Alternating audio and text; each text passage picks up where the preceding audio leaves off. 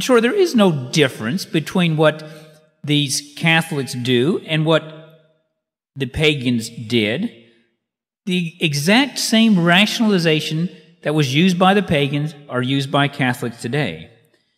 The unanimous testimony of the early pre Nicene Christians is that they did not use incense. There's not even one exception on that.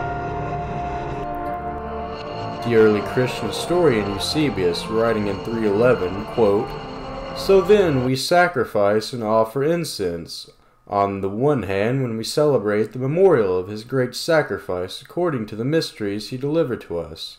Likewise, the use of incense is also mentioned in the earliest liturgy that still survives today. This is called the Liturgy of James from around the year 300 AD or earlier, and it states, We render thanks to you, the Savior and God of all, and we offer to you this incense.